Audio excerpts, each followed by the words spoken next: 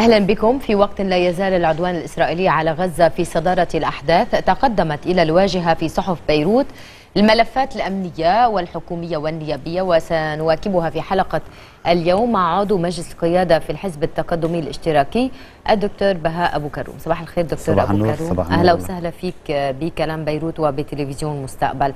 آه، بالوضع آه، آه، بالمنطقة بشكل عام آه، سواء آه، بقطاع غزة حيث دخل العدوان الإسرائيلي يوم الرابع عشر أو فيما يجري في سوريا وفي العراق آه، أيضا. وبالنسبة لمواقف المجتمع الدولي اليوم حبيب حداد بكاريكاتير جريدة الحياة تسم من دون تعليق شاحنة تفرغ بمكب آه، كل أكسسوارات الصوت يعني الميكروهات والنياشين وغيرها في مكب آه، للنفايات آه، بهذه الكاريكاتير يمكن حبيب حداد يقارب المواقف المستنكرة والمدينة لكل ما يجري في المنطقة كيف تفسر موقف المجتمع الدولي؟ ما واضح أنه ليس فقط الأحداث الأخيرة في غزة إنما كل الاحداث التي تجري في المنطقة. هناك يعني آه، عجز دولي عن آه، بناء استراتيجية واضحة لهذا الموضوع. ال- المسألة الأساسية أنه عندما تكون في منطقة يكون فيها حراك آه، بحاجة أو حراك يستند إلى الشرعية الدولية أو يستند إلى القيم الأساسية اللي تبناها المجتمع الدولي في ضمن مؤسساته هيئة الأمم المتحدة أو الاتفاقات أو المعاهدات الدولية حقوق الإنسان وغيره.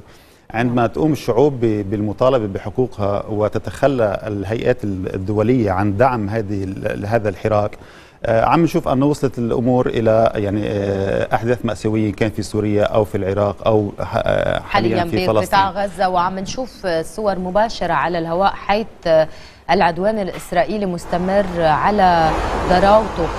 توقيت هذا العدوان هل يطرح علامات استفهام بظل ما تشهده المنطقة ككل وما يحكى عن مخطط ربما لإعادة تقسيم هذه المنطقة. المسار اللي عم بتروح فيه الأحداث بفلسطين ربما شوي يمكن بيكون شوي له علاقة بفشل العملية السياسية وعدم آه، آه، يعني ظهور نوايا جدية من قبل العدو الإسرائيلي بتقديم تنازلات أو بإيصال العملية السياسية اللي انطلقت واللي استمرت لمدة تسعة أشهر إلى خواتيم أو إلى تقديمات آه، بتحسن ظروف الدولة الفلسطينية، نحن عم عم نشوف اليوم إنه ال- العدوان اللي حصل على غزة عم بيأتي بعد المصالحة الفلسطينية لإعادة اللحمة إلى المؤسسات الفلسطينية الفلسطيني. واللي آه، أنتجت حكومة مصالحة واحدة وتأسيسا عليها ستعود الجغرافيا الفلسطينية إلى التوحد بين قطاع غزة والضفة الغربية.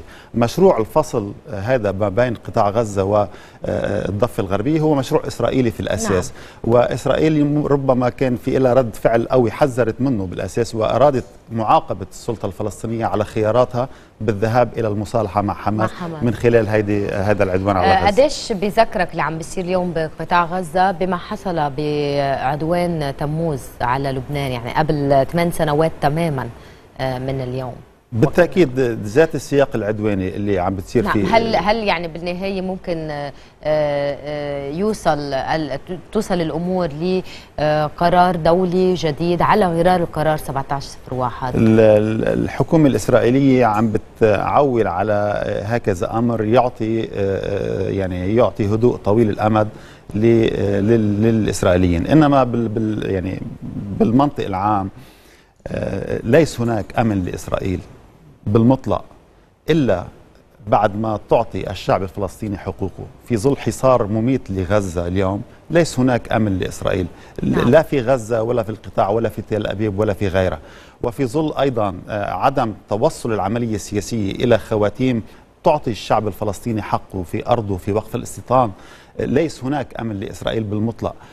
ما فينا اليوم نجي نتحدث عن موضوع عملية سياسية ممكن تنتج اتفاق تهدئة أو وقف إطلاق النار في غزة فقط نعم. من دون التعويل على عملية سياسية يعني تزيل أسباب القهر و و و والغضب الفلسطيني نعم. اللي عم بيعبر عن نفسه في كل الأماكن وفي كل المحطات نعم ولكن المشكلة دكتور أبو كروم أن المجتمع الدولي ينظر إلى ما يجري وكأن إسرائيل هي الضحية والتبرعات تنهال على الدولة العبرية وليس العكس آه، ربما آه، يعني أنا بدي لاحظ مسألة هي اليوم ال- حجم حجم اكتراث العدو الإسرائيلي للضحايا المدنيين أقل منه في السابق وأنا بدي أقول يمكن أنه هذه المسألة بتتأتى من نتيجة أنه نعم. اليوم المبرر اللي عم بيعطيه فيها الإجرام العربي اللي عم بيحصل إجرام بشار الأسد تجاه مواطنينه اللي عم بيروح فيها مدنيين اللي عم بيستعمل فيها كل الأسلحة الكيماوية حتى آه، بتيجي إسرائيل بتلاقي مبرر وبتلاقي أنه بتقول أو بتلاقي مبرر أمام المجتمع الدولي بتقول مش بس أنا صحيح مش بس أنا عم بعمل مجازر بحق المدنيين شوفوا العرب شو عم بيعملوا ببعضهم. لذلك اليوم مبررات هيدي أخف ولذلك رد فعل المجتمع الدولي أو الراي العام الدولي أيضا أخف بهذا الموضوع. وهذا نتيجة طبعا السياسات العربية اللي ما بتاخذ يعني حياة المواطن العربي بعين الاعتبار. اعتبار. إسرائيل تزداد عدوانية واليوم لافتة محاربة الإرهاب هي لافتة يعني صار الكل عم عم بيتناولها. بشار الأسد من من من جهته المالكي من جهته نتنياهو من جهته. كل واحد عم بيجرب أنه يبني على على موضوع محاربة الإرهاب. في موضوع متصل اليوم آه، صباحا الوكالة الوطنية للإعلام أوردت آه، حادث إطلاق صاروخ عند الثانية من بعد منتصف الليل من إخراج بلدة شبعة سقط داخل الأراضي اللبنانية. يعني لم يصل إلى الهدف. تحريك آه، هل يعني في نية ترى لتحريك الجبهة اللبنانية؟ لا الواضح لحد الآن أنه الممسك بال بالقرار إذا بدك الاستراتيجي بالجنوب لا يريد الدخول بال بال بموضوع. بالضبط. نعم. الأحداث اللي عم تحصل هي أحداث آه، منفصلة أو أحداث فردية أو لا تنم عن خبرة وافيه بهالموضوع. واضح أن لا تشكل خطر أو تهديد حقيقي على المسألة إنما أيضا بتعبر عن آه، فلتان امني آه، ما هنا السؤال هل كان يمكن لتحصل لولا معرفة من حزب الله أو أبتباط كما يقال بالدارج؟ ما هذا حيث إنه صاحب الأرض هنيك يعني معلوم أن آه، لا شيء يتحرك. يعني التعويل على دور الأجهزة الأمنية بهالموضوع اللي بدأت تتكشف أمامها خيوط وصار عندها بعض الوقائع بعدد من الأحداث اللي حصلت بهالموضوع. بعتقد بتجيب عن هذا السؤال. ما بعرف قديش بيكون يعني حزب الله بيتبنى هذه المسألة إنما بعتقد أنه حزب الله عنده قرار استراتيجي بعدم الدخول في مواجهة اليوم نعم. لحد الآن. طبعا إلا مواجهة إعلامية وسياسية نعم. ومبدئية. مثل ما رح نشوف ماذا لكن ماذا لو أرادت إسرائيل هي أن تجر لبنان والحزب إلى مواجهة من هذا النوع مستفيدة مما يجري في المنطقة ومن الحرب السورية الدائرة. لحد الآن ليس هناك مبرر كافي لهالموضوع ونحن علينا أيضا على مؤسساتنا الأمنية أن أيضا لا تعطي الحجة والمبرر لإسرائيل لحتى تنقل عدوانها أو تخرج من المأزق اللي هي موجودة فيه اليوم في غزة لأنه هناك حقيقة هناك عملية عسكرية مستمرة في غزة إنما بالمقابل هناك مأزق إسرائيلي لا يعطي صورة عن أو مشهد أو صورة واضحة عن كيفية الخروج من هذا هذا المأزق. يعني اليوم ما عم بيقولوا الإسرائيليين أهدافهم الواضحة ما عم بيقولوا لوين بدهم يوصلوا بالعملية البرية. نعم. لكن كانت العملية البرية نتيجة فشل العملية الجوية أو القصف اللي حصل على غزة. فإذا هناك يعني التورط بشكل مستمر بالضبط بغزة. ليس هناك أفق سياسي لحد الآن للحل. آه كمان بما يتصل بهذا الموضوع لبنانيا نصر الله أعلن المصالحة مع حركة حماس. عشية مؤتمر طهران وقالت اللواء آه، إن آه، إنه اتصل آه، ويعني أبلغ موقفا لكل من خالد مشعل ورمضان عبد الله شلح واعتبر المصدر النيابي اللي كشف عن هذا الخبر أن مجرد الكشف عن الاتصال بين نصر الله وقياديين كبيرين من المقاومة في غزة يعزز التساؤلات عن دور الحزب بالمعارك الجارية بالقطاع. كيف ممكن يترجم عمليا هذا الدعم يلي عبر عنه السيد نصر الله؟ لا واضح أنه الخلاف اللي حصل على خلفية الأزمة السورية ربما تجاوزوا الزمن. تبدد اليوم. صحيح صار أقل أقل حدة. نتيجة طبعا العدوان اللي على على غزة. هذا موقف يعني عبر عنه السيد حسن نصر الله وبتعبر عنه كل القوى اللي بهيك لحظة لابد لها أن لا أن تقف مع القوى اللي عم بتقاوم والناس اللي عم بيجاهدوا بغزة أو غير غزة وفلسطين بشكل عام. ونحن ما بدنا نفصل ما يحصل بغزة اليوم عن اللي حصل قبل بالضفة الغربية. يعني الاستيطان اليوم بعد بعد بعد آه، من أوسلو لليوم آه، تضاعف حجم الاستيطان ثلاث مرات بالقدس وبالضفة الغربية. فاذا هناك فشل آه، ذريع للعملية السياسية وليس هناك أيضا اي اي أي بصيص أمل من أن هناك إسرائيل يعني تسير في الحل صهيونية. في حل الدولتين. يعني هذه المصالحة مع حما عفوا مع حماس ما بتعني بالضرورة موقف موحد مما يجري في سوريا. يعني هي فقط بالموضوع لا الفلسطيني. واضح أكيد الخلاف ب- ب- بالمقاربة بالملف السوري موجود ما بين نعم. حماس وما بين حزب الله. إنما طبعا بتوحدهم مسألة النظرة إلى آه، مسألة المقاومة وضروره يعني مقاومة الاحتلال الإسرائيلي. هيدي هيدا مسألة استراتيجية بعد بتتخطى موضوع آه، حماس. حتى إيران عبرت عن دعمها ل- آه، لحركة حماس ولحركات المقاومة. وهن أيضا مسؤولين بحماس بيقولوا اليوم أنه إيران تدعم المقاومة في حراكها أو في نضالها ضد العدو الإسرائيلي. وهذه شغلة من يعني من الثوابت بالسياسة الإيرانية. لننتقل للسياسة اللبنانية. هل ستنفرج سياسيا على صعيد تحديدا ملف موظفي القطاع العام يلي كان حزب التقدم الاشتراكي يطلع بدور مهم بتقريب وجهات النظر حيث إن الرئيس سلام آه، آه، يعني أبلغ أو صرح لجريدة النهار آه، بوقت متأخر مساء أمس بأنه بناء على طلب وزير المال أضيف ملحق بند الرواتب لجدول أعمال جلسة المجلس يوم الخميس علما انه موضوع الجامعة اللبنانية لا يزال يحتل أولوية البنود، أنتم بهذه الأجواء يعني سحب الموضوع من مجلس النواب ووضع بمجلس الوزراء؟ آه، ربما من مجلس الوزراء يذهب أيضا إلى مجلس النواب. يعني ال- الموضوع نحن كنا بنفضل انه التوصل إلى توافق سياسي حول هذا الملف. مسألة صرف آه، آه، رواتب الموظفين طبعا هي مسألة لحد اليوم هي إشكالية ما بين تيار المستقبل وكتلة آه، المستقبل وما بين وزير المالية ومن وراء طبعا الرئيس نبيه بري.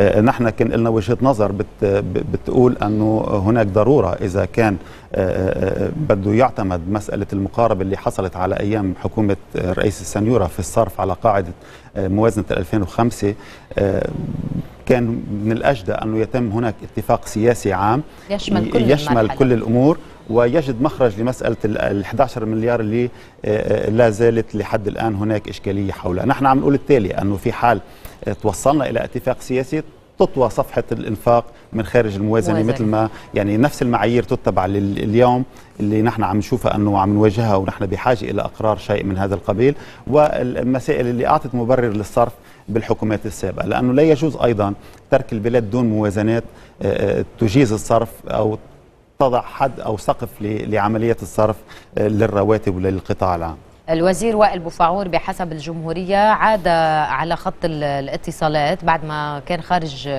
لبنان لمدة 24 ساعة آه، بزيارة خاصة والتقى آه، الرئيس آه، عفوا زار الرئيس تمام سلام للتداول بالمهمة يلي كلفوا فيها النائب وليد جنبلاط سعيا لتفاهم على عقد جلسة تشريعية وين آه، وصل الوزير وائل أبو فعول بمسألة؟ لحد اليوم آه، آه، بعتقد الجهود مستمرة ونحن نبني وبنامل أنه نتوصل لاتفاق على هذا الموضوع. عدم تحقيق تقدم ما بيعني تراجع؟ لا لحد الآن شوف ال- ليك الألغام اللي عم بتواجه العمل الحكومي والعمل التشريعي آه، كثيره منها ملف سلسلة الرتب والرواتب منها موضوع التفرغ بالجامعة اللبنانية منها ال- مجلس العمداء بالجامعة اللبنانية ومنها مسألة اليورو بوند اللي بدها تتكفل.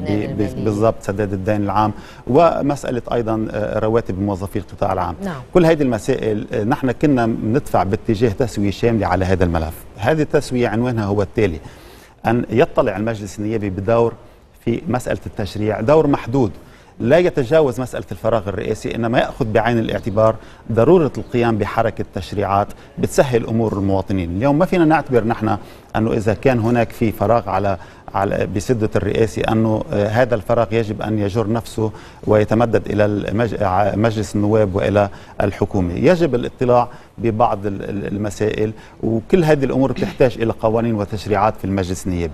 آه، آه، سقف سقف التشريع يجب أن طبعا يعني يبقى ضمن المعقول اللي ما بيتجاوز مسألة آه، صلاحيات رئاسة الجمهورية. نحن هذا الاتفاق العام اللي عم ندفع باتجاه تحقيقه ما بين تيار المستقبل و آه، كتلة الرئيس نبيه بري. نعم. عم نقوم بجهود ولا زلنا لحد اليوم بنأمل أنه أنه توصل تنجح. توصل- طيب توصل ما هي المآخذ يلي عم بيأكد عليها الوزير علي حسن خليل بخصوص ال 11 مليار يلي كانت حركة أمل هي مشارك رئيسي بالحكومة آنذاك وكانوا جميع الفرقاء السياسيين من 8 ومن 14 ومن الوسطيين مشاركين.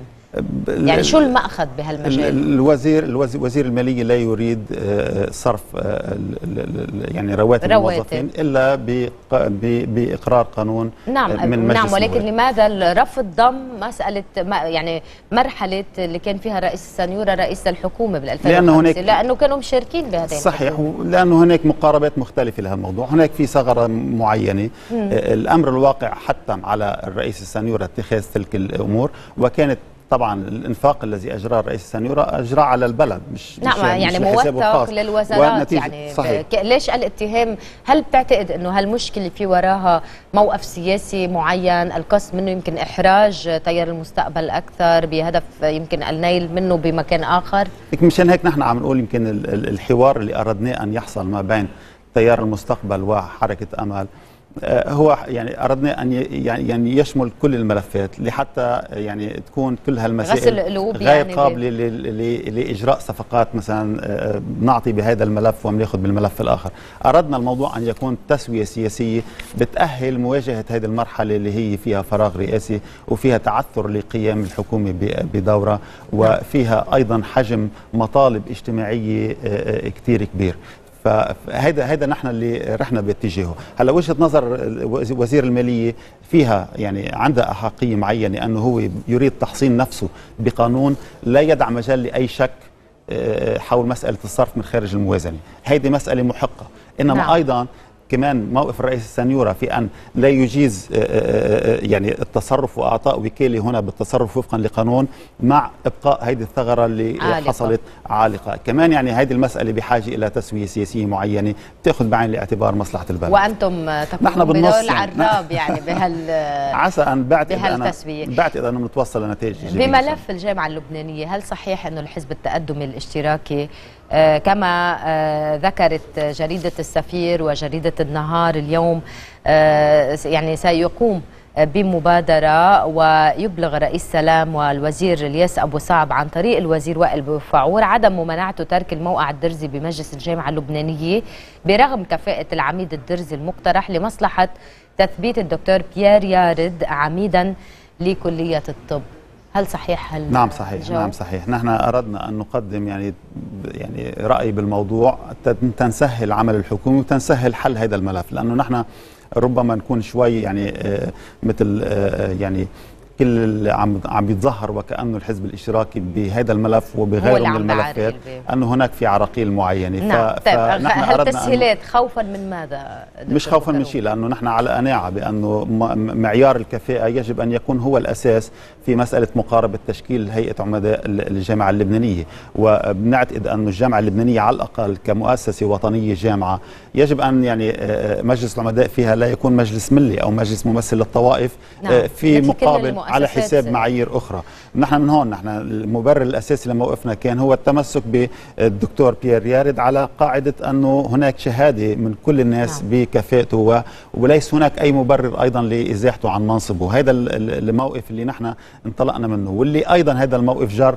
في نهاية الأمر إلى أن نتمسك بهذا الرأي ونعطي نعم. إشارة على أنه مسألة الكفاءه هي مسألة أساسية بالنسبة لنا على حساب حتى لو كانت على حساب آه، المحاصصة أو على حساب حصتنا بهذا نعم لأن النائب جنبلاط أبلغ كل مكونات الحكومة وخصوصا رئيسه أن أولوية حفظ الاستقرار واستمرارية عمل المؤسسات لا يجب أن تتقدم عليها أولوية أخرى. آه، يعني مصير الحكومة آه، بهذا المعنى مهم. للحزب التقدمي الاشتراكي. رح ارجع لهذه الفكرة آه، ولكن حتى ما نترك كثير عبر الهاتف. معنا معالي الوزير آه، رشيد درباس. صباح الخير معالي الوزير. صباح النور أهلا وسهلا. يعني ملف الجامعة اللبنانية كما الأجواء اليوم في الصحف بطريقه إلى الحل آه، بعد تنازل من النائب وليد جنبلاط بهذا الموضوع. ماذا عن ملف بند الرواتب؟ آه، هل أنتم بالأجواء يلي نشرت اليوم عن أن الوزير علي حسن خليل طلب إضافة ملحق بند الرواتب لجدول أعمال جلسة المجلس آه، مجلس الوزراء يوم الخميس؟ وبالتالي صار الموضوع عند الحكومة ولم يعد عند مجلس النواب؟ الحقيقة الوزير علي حسن خليل منذ أكثر من ثلاثة أسابيع آه، كان يلفت النظر لأمرين. الأمر الأولاني مسألة ضرورة الحصول على إجازة مجلس النواب. لاصدار سندات خزينة بالاورو بشان خدمة الدين وإلا بنعرض لبنان للدخول إلى نادي باريس. والأمر الثاني اللي قال إنه هو يعني عنده فيها وجهة نظر إنه سندات الخزينة آه، تصدر فقط للمؤسسات اللي بتقدر ترد مش سندات الخزينة عفوا سلف الخزينة. آه، للمؤسسات اللي بتقدر ترد الدين تقدر ترد السلفي أما لما بيدين الدولة آه، بيكون هذا يعني سلفي في غير محله هلا في نظرية أخرى بتقول إنه لا الدولة بتقدر ترجع ترد السلفة من الموازنة اللي بدها تطلع لها لما تقر بمجلس النواب. بكل حال هو طرح الموضوع قبل ثلاث أسابيع. وقال أنا في عندي مسألة الرواتب آه، بدها بدها علاج. هلا مجلس الوزراء كله سوا ابدا استعداده يومها.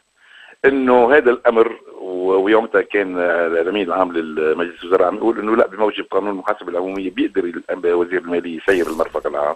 بس مجلس الوزراء مجتمعا أبدأ استعداده لتغطية معالي وزير المالية فيما لو بده يصدر هو سلف خزينة في هالموضوع لأنه مسألة الرواتب مسألة لا لا يمكن أن ان, يجري العبث فيها ويعني ما فينا نحن نحط المجتمع كله سوا بظهرنا إنه والله ما في رواتب.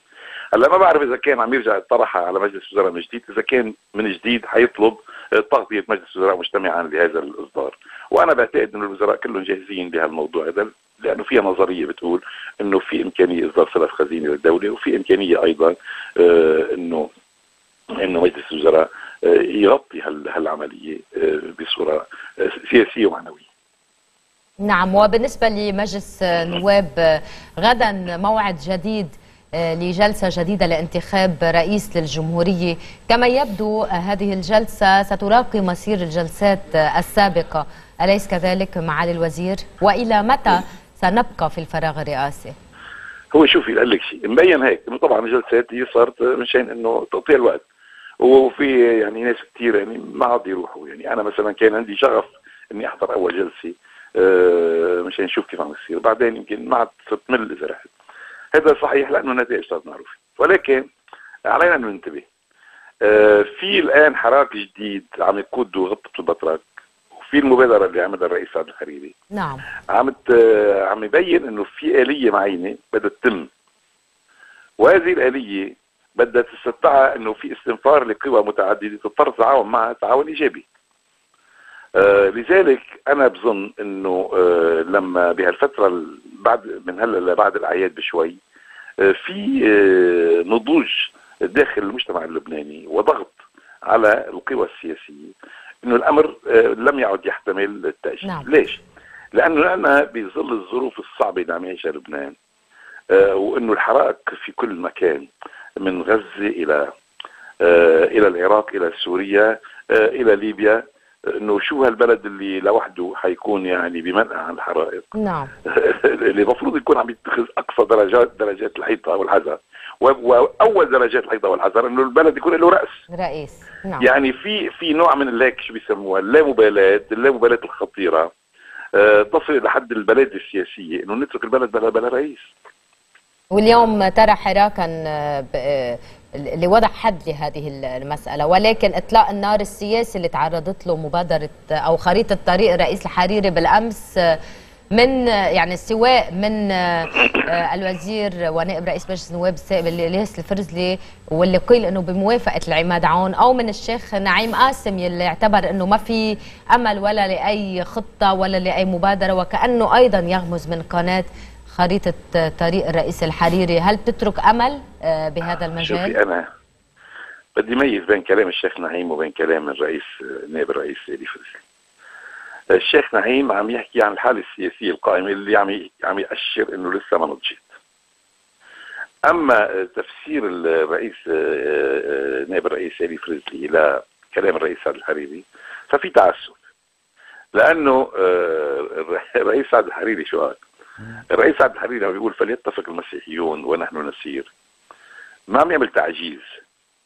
هو عم يأكد على إنه منصب رئيس الجمهورية هو منصب ماروني ويجب للقوى المسيحية يكون لها الدور الأصلي بتسميته. وذلك بعدين بالتوافق مع باقي الطوائف. إذا هيك كلام يعتبر إنه هذا كلام مناورة يعني بس شكله لكن الصدق.